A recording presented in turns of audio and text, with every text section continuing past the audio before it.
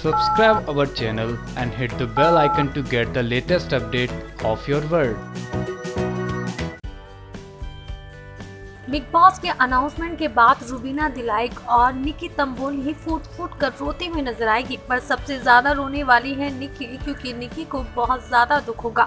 निकी ने बहुत ज़्यादा मस्ती की है सीनियर्स के साथ, खासकर हिना सिद्धार्थ शुक्ला के साथ।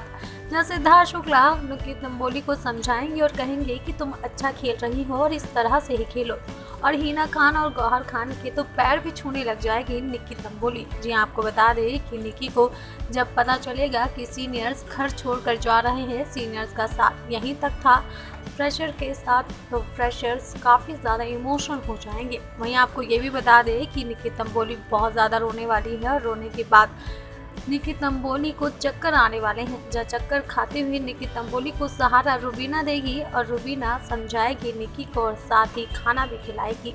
जी हाँ निकी और रुबीना की हमेशा घर के अंदर लड़ाई ही देखी है, लेकिन अब दोनों के बीच में अंडरस्टैंडिंग भी देखने को मिलेगी। कल आगे की अपडेट आप तक पहुँचा देंगे अपनी नेक्स्ट रिपोर्ट के ज़रिए, जिसके लिए सब्सक्राइब कीजिए हमारा channel